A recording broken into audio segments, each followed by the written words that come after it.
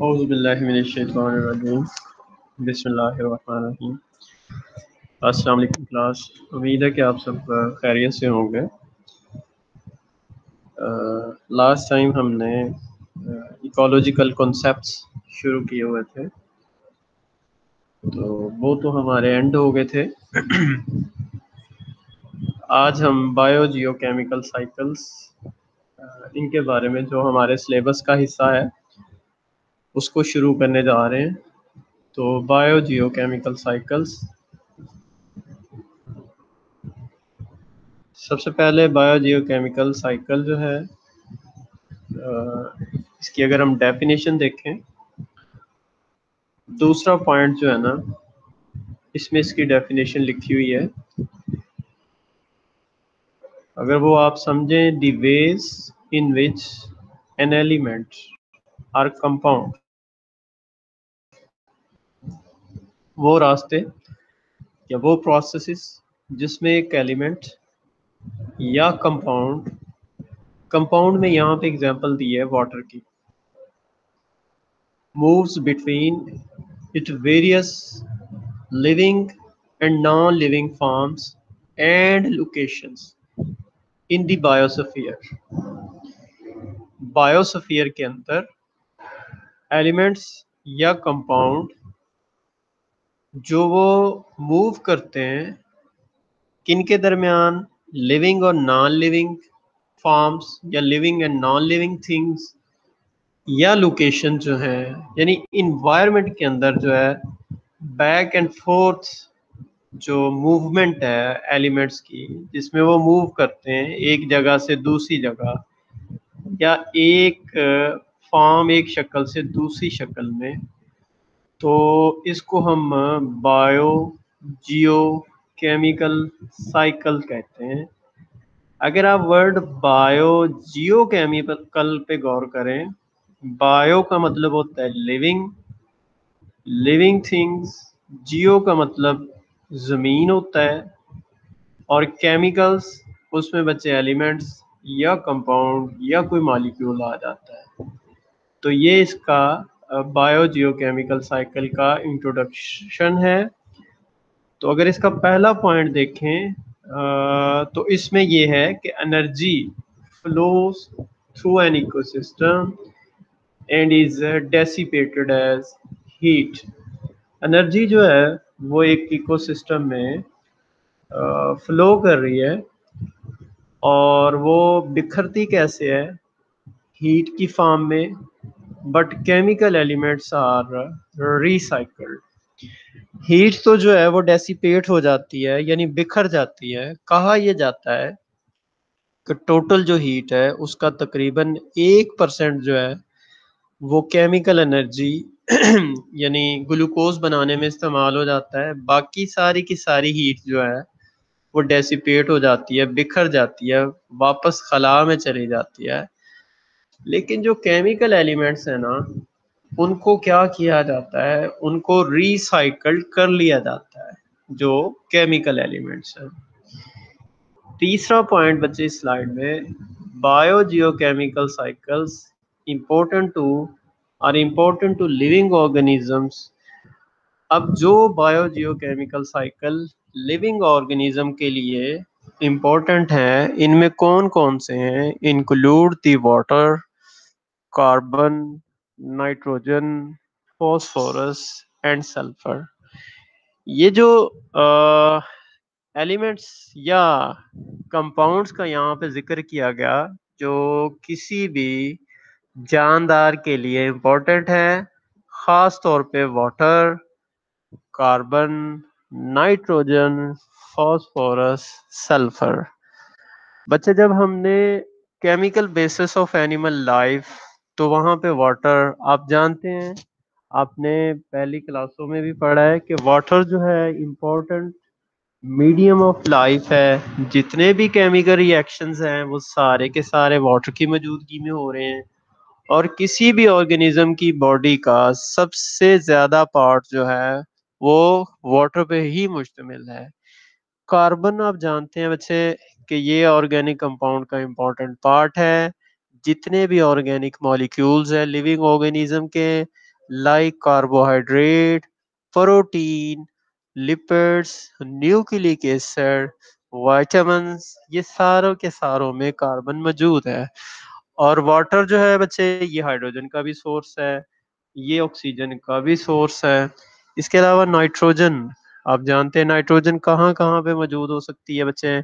Nitrogen हमारे पास ये मौजूद है किसमें वाला, नाइट्रोजन मौजूद है, अगर देखा जाए प्रोटीन्स के अंदर, क्योंकि अमाइनो एसिड का इम्पोर्टेंट पार्ट है अमाइनो ग्रुप उसमें मौजूद है। इसके अलावा हमारे न्यूक्लिक एसिड बल्कि जितने भी लिविंग ऑर्गेनिज्म है, या बच्चे इन्फेक्शस पार्टिकल जैसे आजकल वायरस कोरोना वायरस वगैरह जो है, इनके भी न्यूक्लिक एसिड में बच्चे नाइट्रोजन तो ज़रूर मौजूद है, यानी नाइट्रोजन बेस की फॉर्म में, वो जो प्यूरिन एंड पायरेमेडीन है, उनकी फॉर्म में ये मौजूद है। अच्छा उसके बाद फॉस्फोरस की अगर बात करें तो फॉस्फोरस जो है, ये भी बच्चे इंपॉर्टेंट पार्ट है, जैसे एटीपी का इंपॉर्टेंट पार्ट है। इसके अलावा फॉस्फोरस जो है, वो न्यूक्लिक एसिड का हिस्सा है। बच्चे, जब हमने न्यूक्लिक एसिड की कंपोजिशन हमने न्यूक्लियोटाइड का ज़िक्र किया था तो हमने कहा था कि न्यूक्लियोटाइड में तीन चीज़ें होती हैं। एक पाँच कार्बन शुगर होती है, एक नाइट्रोजनस बेस होती है और एक फॉस्फेट ग्रुप होता है। इसी तरह सल्फ़र कंटेनिंग अमाइनो एसिड है, यानी सल्फ़र भी इंपॉर्टेंट पार्ट है। किसका भला? प्रोटीन का। सल्फ़र डाई सल्फाइड ब्रिज आपने सुना होगा प्रोटीन के स्ट्रक्चर में, वो जो primary secondary tertiary quaternary structure जो है वो बनते हैं, उसमें सल्फ़र का बड़ा इंपॉर्टेंट रोल है डाई सल्फाइड ब्रिज बनाने में। तो सल्फ़र कंटेनिंग अमाइनो एसिड भी हमारे पास मौजूद है। ये यहाँ पे इस स्लाइड में आपको शो किया जा रहा है कि हीट की फार्म में सूरज जो है वो पूरी बायोस्फीयर यानी लिविंग जो हमारी कायनात है। इसमें वो एनर्जी प्रोवाइड कर रहा है। प्रोड्यूसर भी हीट खारिज कर रहे हैं डेसीपेट कर रहे हैं। कंज्यूमर्स भी डिकम्पोजर्स भी। और जो इन ऑर्गेनिक न्यूट्रिएंट पूल है, जैसे कार्बन है हाइड्रोजन है सल्फ़र है फास्फोरस है नाइट्रोजन यानी इनऑर्गेनिक जो है। तो ये शो किया गया कि किस तरह वो एक से दूसरे में क्या होते हैं? रिसाइकल होते जाते हैं। अच्छा अब ना यहाँ पे एक पॉइंट है। शॉर्ट क्वेश्चन की फॉर्म में आपको आ सकता है कि write on various phases of biogeochemical cycles तो each biogeochemical cycle has two phases her biogeochemical cycle जो है ना, उसके दो फ़ेज़ है नेमली दी बायोटिक फ़ेज़ यानी ऐसा बायोटिक यानी वो लिविंग ऑर्गेनिजम्स पे मुश्तमिल है ऑर्गेनिक फ़ेज़ भी कहते हैं और दूसरा जो है वो एबायोटिक फ़ेज़ यानी इनऑर्गेनिक फ़ेज़ भी हम उसको कह सकते हैं या नॉन लिविंग बल्कि हम इसको नॉन लिविंग फ़ेज़ कहें तो बेटर है बजाय इसके इनऑर्गेनिक के।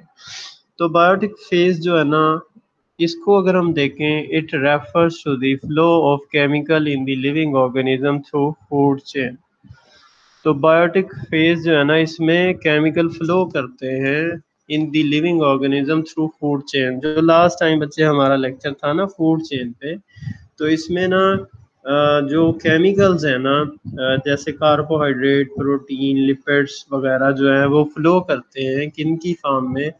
वो बायोटिक फ़ेज़ में फ़ूड चेन में फ्लो करते हैं।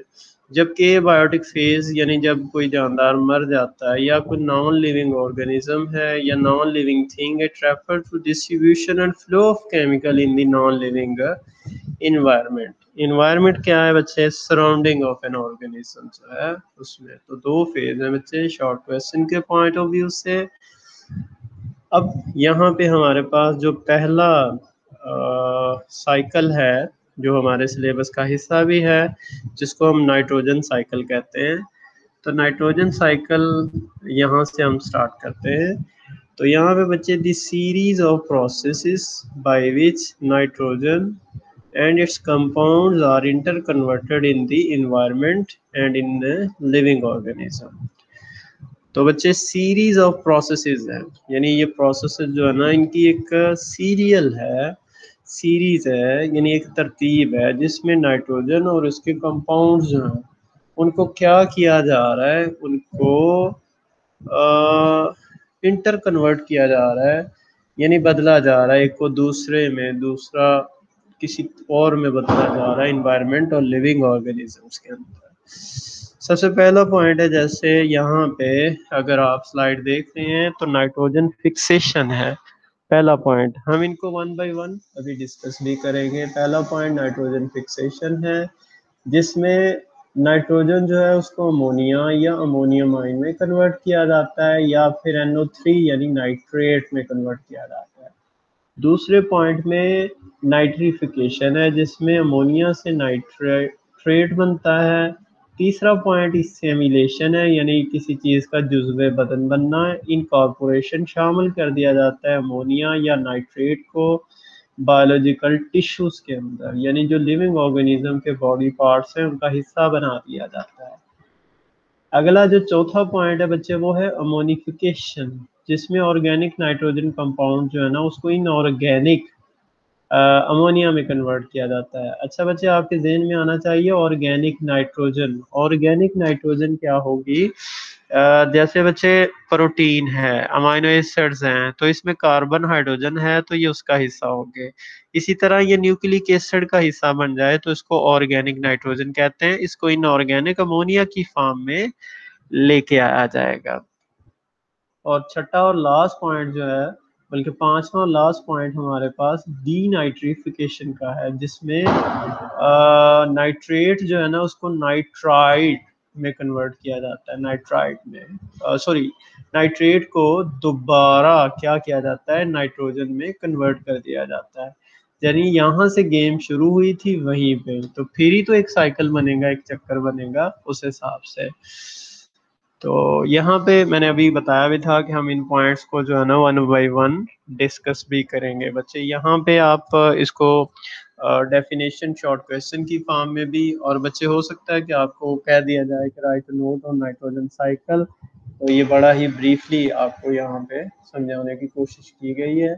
तो आप देखें, सबसे पहला पॉइंट है नाइट्रोजन फिक्सेशन तो नाइट्रोजन फिक्सेशन को अगर आप गौर से देखें तो इसके जो पॉइंट्स बनते हैं कि nitrogen fixation is the process, यानी एक ऐसा प्रोसेस है बाय विच जिसमें गैसियस नाइट्रोजन जो गैस की फॉर्म में नाइट्रोजन है ना फिजा में इज़ कन्वर्टेड टू अमोनिया उसको अमोनिया में कन्वर्ट किया जाता है. या अमोनियम आइन में कन्वर्ट किया जाता है. किसके ज़रिए से? वाया बायोलॉजिकल फिक्सेशन किसी लिविंग ऑर्गेनिज्म की मदद से. यानी कोई बैक्टीरिया है कोई फंजाई है, उसकी मदद से जो है ना इसको क्या किया जाता है? फिक्स किया जाता है। देखिए वर्ड पे गौर करें ना नाइट्रोजन फिक्सेशन या बच्चे इसको नाइट्रेट में कन्वर्ट किया जाता है through high energy physical process तो ये फ़िज़िकल प्रोसेस है हाई एनर्जी यानी एनर्जी का इस्तेमाल करते हुए फ़िज़िकल प्रोसेस जो है ना, उसमें इसको इस्तेमाल किया जाता है, यानी nitrogen fixation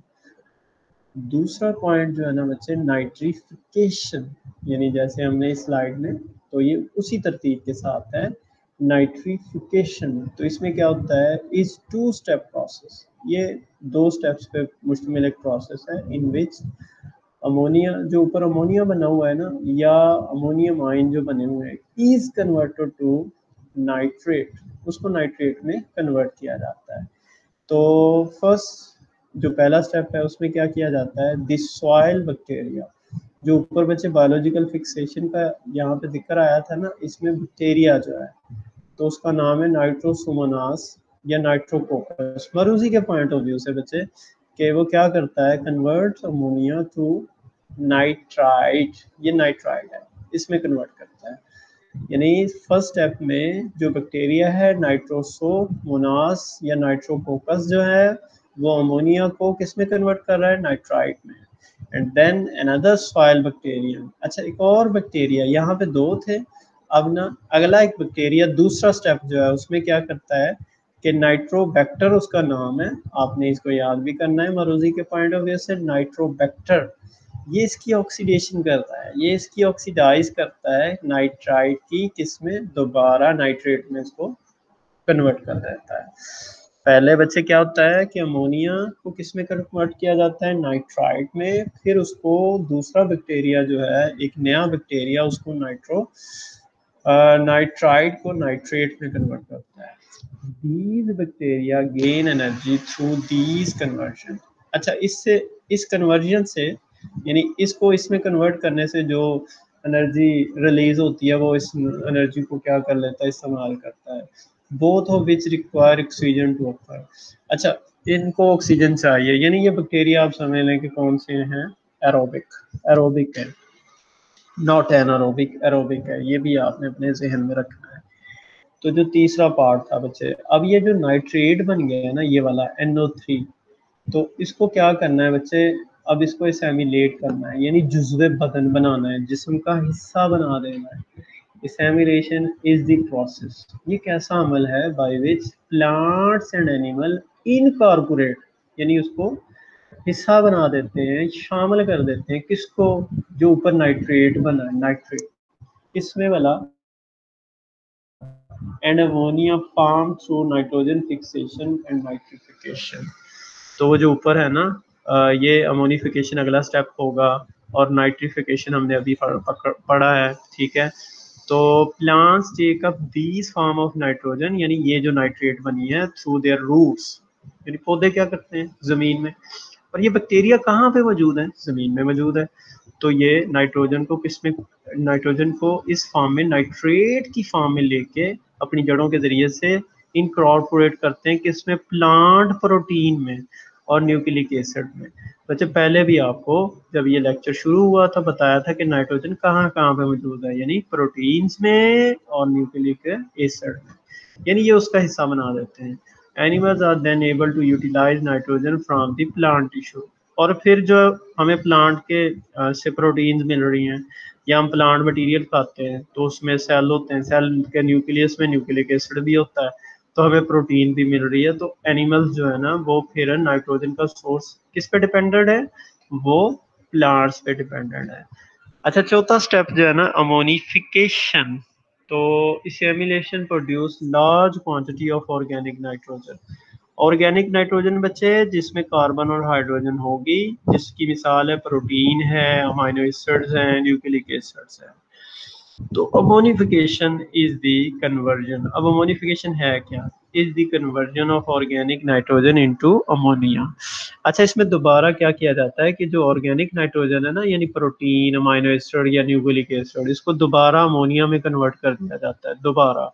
The ammonia produced by this process is excreted into the environment is, is then available for their nitrification and uh, इसेमिलेशन अच्छा बच्चे, आपको पता है कि जब हमारी बॉडी के अंदर जो यूरन बनता है यूरिया तो ये यूरिया पहले अमोनिया होता है, फिर इसको किसमें कन्वर्ट किया जाता है? यूरिया में।